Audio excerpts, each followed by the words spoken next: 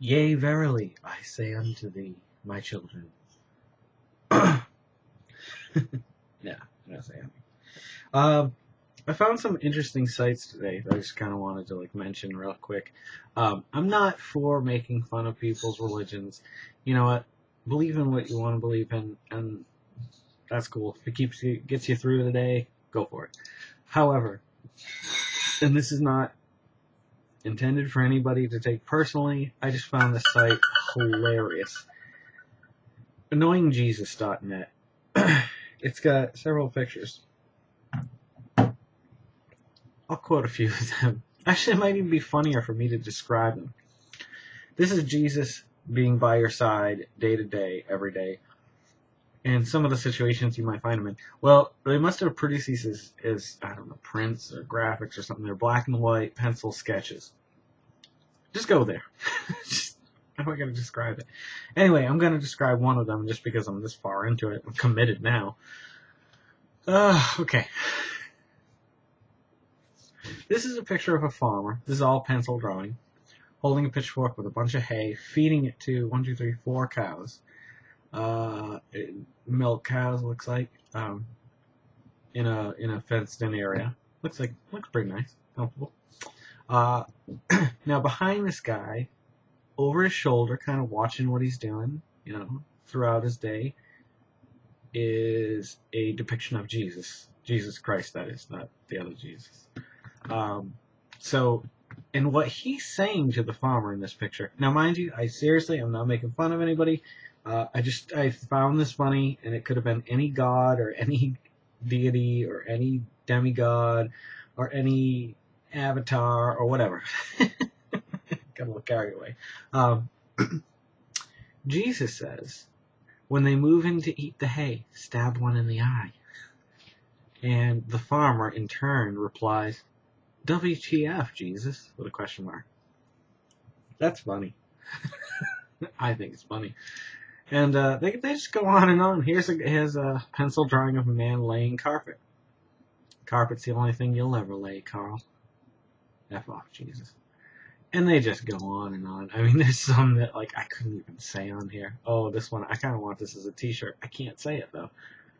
If you go to the site now, this is as of tonight at 9.15, it would be 1, 2, 3, 4, 5, 6, 7, 8, number 8. It's a woman putting cakes into an oven, and Jesus is looking over her shoulder, and she, he says something incredibly terrible, terrible, awful, awful. Just, but it, the site's funny. Just go check it out. AnnoyingJesus.net. The other thing I found today is it weird when I do this? Because I'm trying to look at the interweb. and read you things that you might find funny. Yeah, I mean, I know you could just log in to Facebook and scroll down, and you know, a lot of our friends are probably similar. Oh, look at this. Toys from the 80s. He-Man. And Cringer. Not Cringer, Battle Cat. That was Cringer when he was the little sissy. That's all I got. Alright, here's another one. This is, you know what really grinds my gears? Please don't, I, don't mean, I didn't, that's Seth MacFarlane. that's not mine. That's, that's funny. It's an episode of South Park where Peter gets a, um, a segment on the news every night called What Grinds My Gears or something like that. Um, athlete salaries. Screw you athletes yeah, I'm calling you out. I know you could all kick my ass repeatedly for the next like 30 years, but um, really, I mean, this goes for CEO salaries too. This isn't. I'm not picking on athletes at all because I know it takes a certain talent to perform in such a way. However, it's still a goddamn game. It's a sport. Like, like yes, America loves watching football. America loves watching baseball. I do. I love watching football and baseball. But if I had the choice of watching that or seeing the salaries of those players get divided amongst the teachers in this country, I'd go that route. Now, here we go. Oh, four teachers. Yeah, they get the whole summer off. Da da da da da do. I know teachers well. Not that I am one. Oh, I am one, actually. I teach Grayson. But I see teachers on a, on almost a daily basis coming in, and they spend all their money for their own supplies for their classroom, and sometimes if they're lucky, the school will give them a credit of like, at most I've ever seen is maybe like two or three hundred dollars for the whole year. All their curriculum, all their bulletin boards, all the paper for the bulletin boards, and chalk and supplies and erasers and like it's so easy to look at a teacher's salary and go, they get the summer off and they still get paid. Well, that depends if you're on a nine month or twelve month contract and so on and so forth. Like it's it's easy to, to think that like they have a pretty easy job, but they really don't. And I've learned that from teaching, and I've learned that from talking to teachers for the last almost ten years. Oh, like I said, on a daily basis. And uh, some of them, you know, some of them are well off, and I'm sure it's because of a family situation or something. But the most of them that come in are not far from where I am, and I'm I'm not on the best, you know, financial ground right now. But whatever, I'm not talking about that. Um, I'm never going to talk about that on here.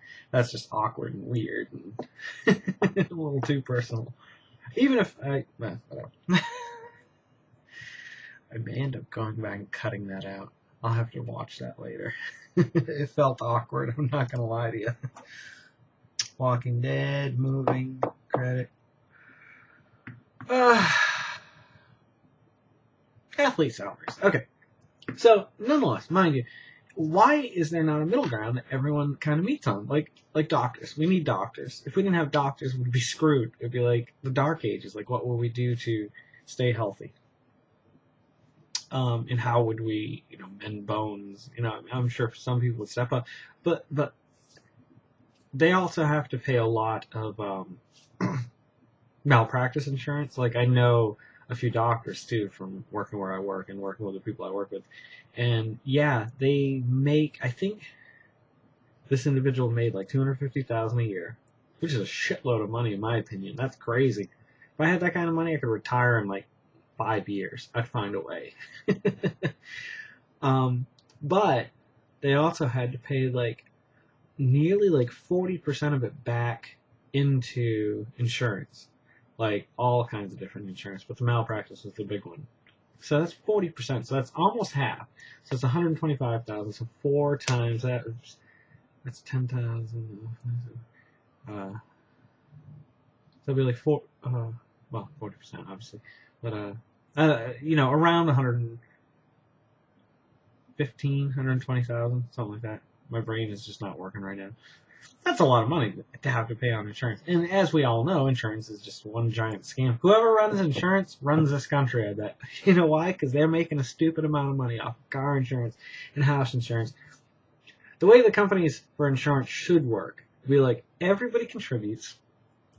Ooh, it's a socialist idea.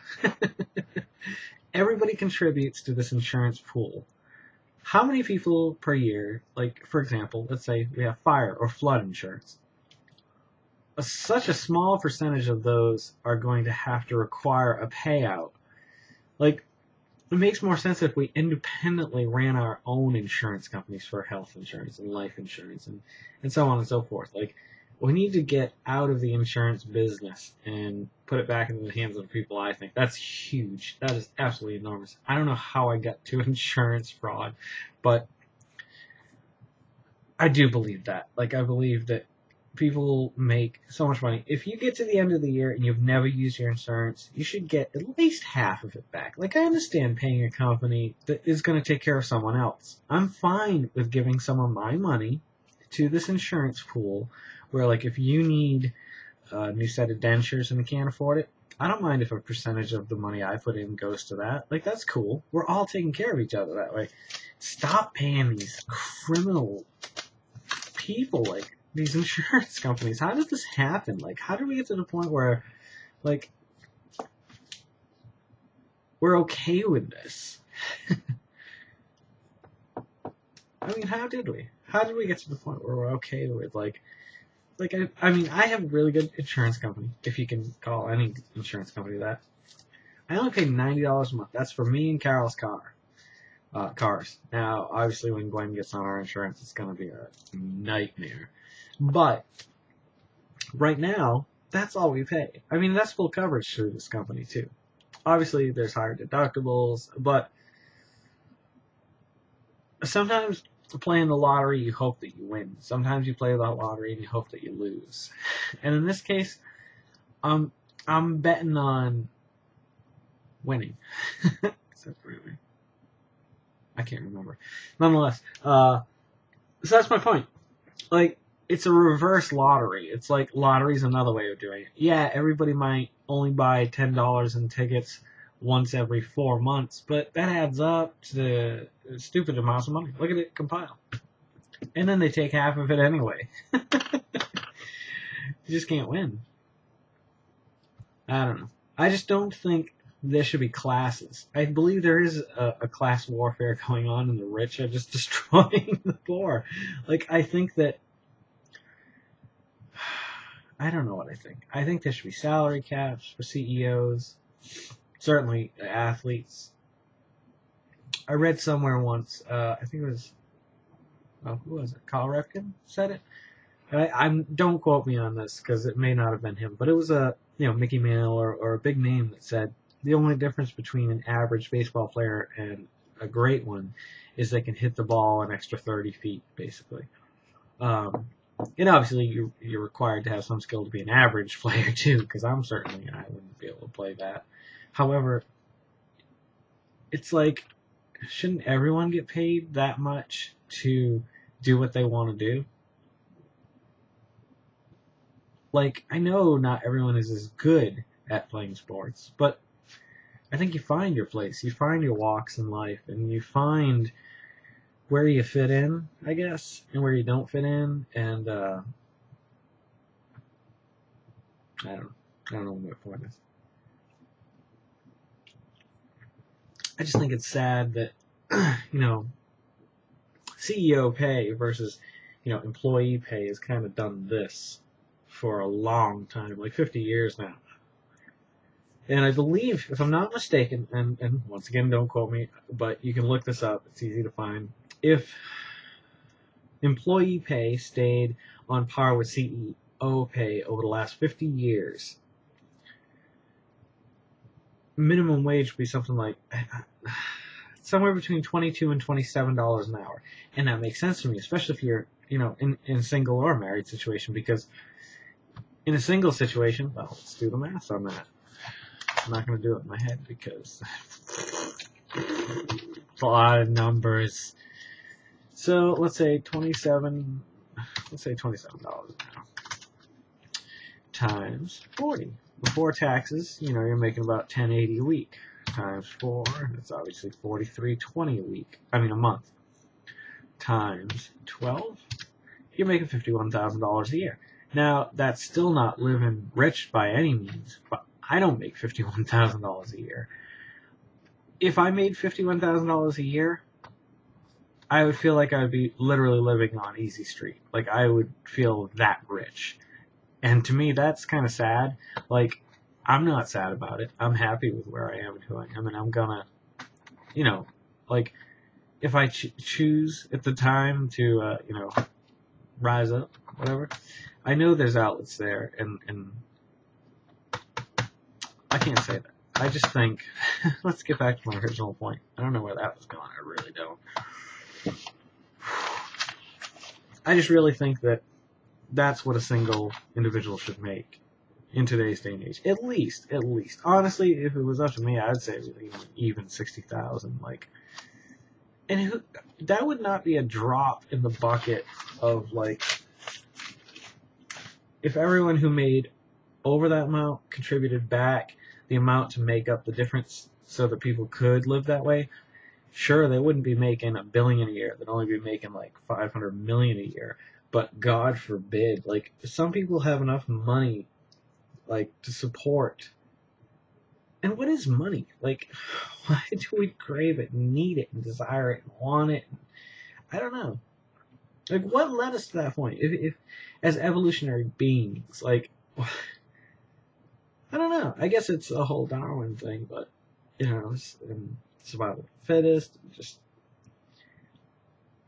But I don't know. I just don't want to deal with that. I just want everybody to be happy and get along and sing songs together and dance with flowers. And I mean, I, I know that sounds really hippie, but like, I'm not too far off. I'd love that if everybody just got along. You could break into song any given day on the street. It's fun to sing. Yeah, it's fun to sing alone in your car, or in the shower, or if you're in a band, or whatever. It's fun to sing. Music's awesome. It's, it's moving. It's it's uplifting. It's comforting. It's like it's all things when it needs to be. You just gotta pick the right song. Ooh, that's deep. 1548. Well,